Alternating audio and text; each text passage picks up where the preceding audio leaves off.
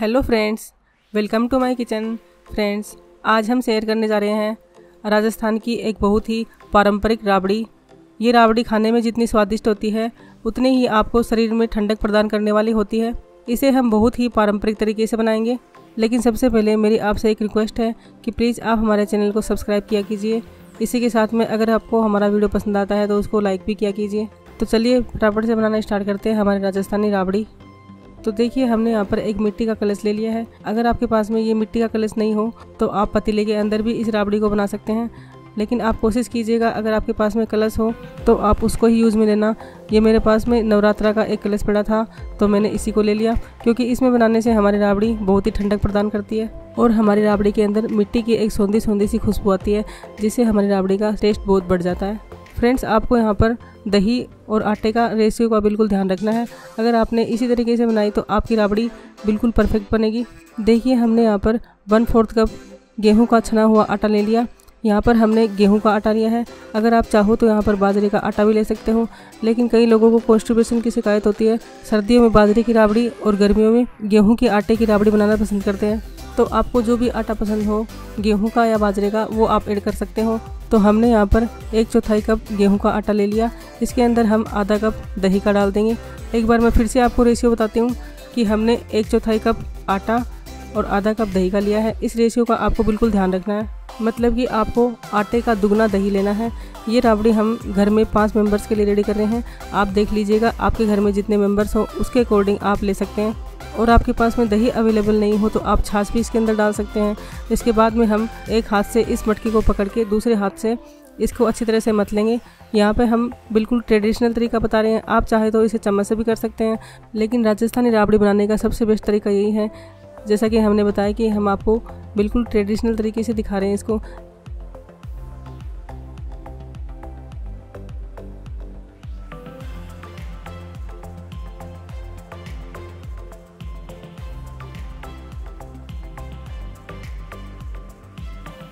देखिए, हमारा बेटर यहाँ पर रेडी हो चुका है। इसे हमने कम से कम पाँच मिनट तक हाथों से घोट घोट के एकदम चिकना कर लिया है।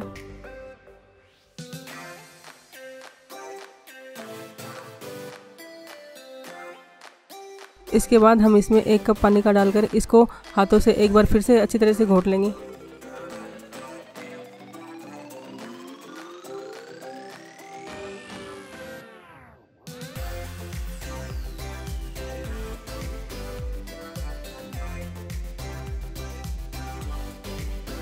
इस तरह से हमारा राबड़ी का घोल बिल्कुल बनाने के लिए तैयार हो चुका है। अगर आप इंस्टेंट राबड़ी बना रहे हैं तो आपका घोल राबड़ी बनाने के लिए तैयार हो चुका है। लेकिन हम बिल्कुल पारंपरिक तरीके से बना रहे हैं तो इस घोल को हम सुबह से लेकर शाम तक धूप के अंदर रख देंगे। हम राजस्थानी भाषा में बोलते हैं कि खाटा उठाना तो वो खाटा हमारा शाम तक बनाने के लिए तैयार हो जाएगा।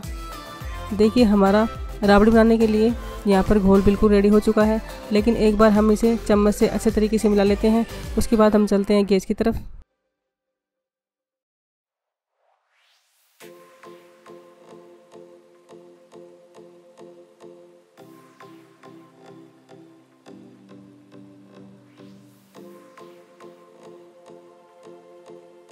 गैस के ऊपर हमने हाई फ्लेम पर दो कप पानी का उबलने के लिए चढ़ा दिया है। इसे हम ढक्कन लगा देंगे ताकि हमारा पानी फटाफट से उबल जाए। देखिए, यहाँ पर हमारे पानी के अंदर अच्छे तरीके से उबाल आ चुका है। पानी के अंदर उबाल आते ही हम इसमें घोल जो हमने तैयार किया है, वो डाल देंगे। लेकिन डालते ही हमें चम्मच से इसको लगातार चलाते रहना है और हमें अपनी चम्मच पतीले के तले तक लेके जानी है ताकि हमारी राबड़ी नीचे तले के अंदर लगे नहीं। राबड़ी के अंदर उबाल आने तक हमें इसे चम्मच तक हिलाते रहना है। फ्रेंड्स, यहाँ पर हम जो स्टेप करेंगे, आपको उनका बिल्कुल केयरफुली ध्यान रखना है। नहीं तो आपकी राबड़ी बिल्कुल बढ़िया नहीं बनेगी और वो फट भी सकती है। एक बार फिर से हम आपको रेशियो बताते हैं ताकि आपको बनाने में आसानी हो। हमने आटे का दुगना दही लिया है और दो कप हमने पानी का उबलने के लिए चढ़ाया है। राबड़ी को अच्छे तरीके से उबलने के बाद में हम इसमें एक चम्मच नमक का डाल देंगे और उसे अच्छी तरीके से मिला लेंगे। राबड़ी के अंदर उबाल आने के बाद में हम इस राबड़ी को पाँच मिनट तक लो फ्लेम पर पका लेंगे। कई लोगों को ये राबड़ी मीठी भी पसंद होती है। अगर आपको पसंद हो तो आप मीठा डाल सकते हैं अपनी पसंद के अकॉर्डिंग। लेकिन आपको ध्यान रखना है कि वो मीठा आपको जैसे चीनी डाल रहे हो या गुड़, इसी समय डालना है ताकि जैसे जैसे राबड़ी पके, वैसे ही आपकी चीनी या गुड़ गल करके मेल्ट हो जाए। ये राबड़ी हमारी पाँच मिनट तक लो फ्लेम पर उबलने के बाद में तैयार हो चुकी है। अगर आपको गर्म राबड़ी पसंद है तो ये डेफिनेटली रेडी हो चुकी है। लेकिन हमें ठंडी राबड़ी पसंद है तो हम इसे कल सुबह खाएँगे। तो आगे का प्रोसेस हम कल सुबह बताएँगे।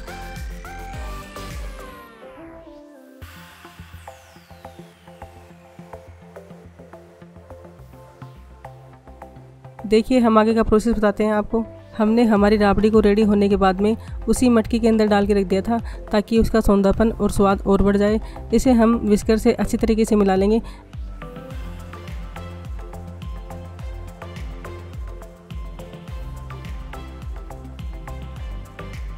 इसके बाद हम इसमें छाछ भी मिलाएँगे। आप चाहो तो इस राबड़ी को बिना छाछ मिलाए हुए भी पी सकते हो, लेकिन छाछ मिलाने से इसका टेस्ट और भी बढ़ जाएगा। इस राबड़ी के अंदर हम दो कप छाछ का डाल देंगे और उसे अच्छी तरीके से मिला लेंगे।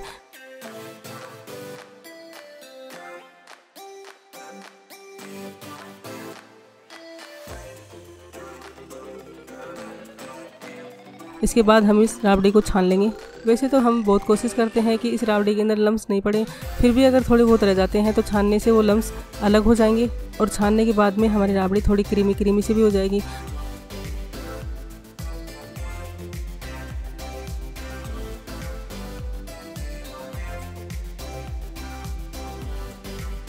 इसके बाद हम इसमें थोड़ा सा सिका हुआ जीरे का पाउडर भी डाल देंगे। फ्रेंड्स, इस राबड़ी के अंदर मेन इंग्रेडिएंट सिर्फ़ आटा और दही है। बाकी जो भी चीज़ें हम इसमें ऐड करते हैं, वो बिल्कुल ऑप्शनल है। आप चाहो तो इसे मिलाओ या फिर ना मिलाओ, ऐसे भी आप इस राबड़ी को खा सकते हो। क्योंकि थोड़ा सा जीरा पाउडर डालने से आप सबको पता ही है कि हमारे पेट में ठंडक देता है और हमारी राबड़ी का स्वाद भी बढ़ जाता है। इसे हम सर्व कर लेते हैं। लेकिन मान के चलिए कि इस राबड़ी को बनाने के लिए हमें सिर्फ़ दो ही चीज़ें चाहिए होती हैं। इसके बाद हम इसमें आधा चम्मच नमक डाल देंगे। इस तरह से हमने टोटल डेढ़ चम्मच नमक का डाला है। आप चाहें तो इसे कम ज़्यादा कर सकते हैं अपनी पसंद के अकॉर्डिंग अब हम इसमें बारीक टुकड़ों में कटा हुआ प्याज भी डाल देंगे। प्याज डालने से हमारी राबड़ी का टेस्ट बढ़ जाएगा और प्याज से हमें लू और गर्मी नहीं लगती। अब हम इसको सर्व कर लेते हैं।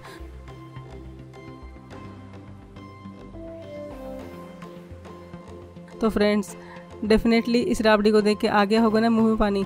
आप भी बनाइए, खाइए और इन्जॉय कीजिए। जब भी आप दोपहर में गर्मियों में काम करके थक जाते हैं तो ये राबड़ी पीकर आपको कूलर की ठंडी ठंडी हवा में सोकर बहुत ही मज़ा आएगा, क्योंकि इस राबड़ी को पीने के बाद में हल्की हल्की सी नींद भी आती है। ये राबड़ी आपको पेट में जाके बहुत ही ठंडक देगी और आपको इसे पीकर बहुत ही मज़ा आएगा। अगर आपको हमारा ये वाला वीडियो पसंद आया तो इसको लाइक हमारे चैनल को सब्सक्राइब और अपने फ्रेंड्स और फैमिली में शेयर कीजिएगा। मिलते हैं एक नई रेसिपी के साथ में। थैंक्स फॉर वॉचिंग स्वस्थ रहिए, मस्त रहिए.